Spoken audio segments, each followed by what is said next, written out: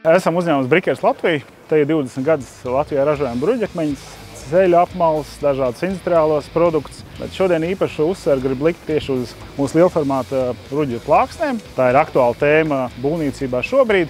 Latvijā trūks darba spēks, ieklāšana ir jābūt automatizētā režīmā. Tas arī, ko mūsu nu, produkcija, mūsu aktuālā prasa kvalitatīvi ieklāt bruģi, lai tas pēc tam ilgi kalpotu. Tie ieguvumi būtu attiecīgi trīs. Ja. Viens tas, ka iegūst pasūtītājs, viņš zina, kad ir kvalitatīvi ieklāts bruģis. Mēs iegūstam brīvu darba spēku, ko varam izmantot citur, jo automatizētā tehnika ļauj ieklāt bruģi līdz 800 kvadrātmetriem dienā.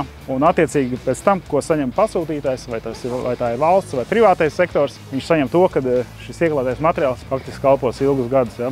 Šāds piemērs ļoti uzskatām, redzams, ir pie Dailas teātra Rīgā, kur ir ieklāts šīs bruģu plāksnes ar šo moderno tehniku.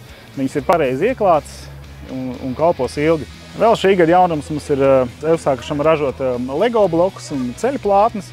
Tas daļēji ir tāds projekts saistībā ar aktuālo tēmu, ja, ar pārstrādātu materiālu. Ir skaidrs, arī bruģim ražojot, veidojās kaut kāda atlikuma vai pārplikuma, kurus mēs pārstrādājam. Un izmantojam šajos blokos, kā teikt, ejam to virzienu, ko Eiropa mums liek, un esam ilgspējīgi un zaļi. Esiet gudri, esot soli priekšā, izmantojot šo moderno tehniku un veidojot pilsētu vidi kopā ar Brikers.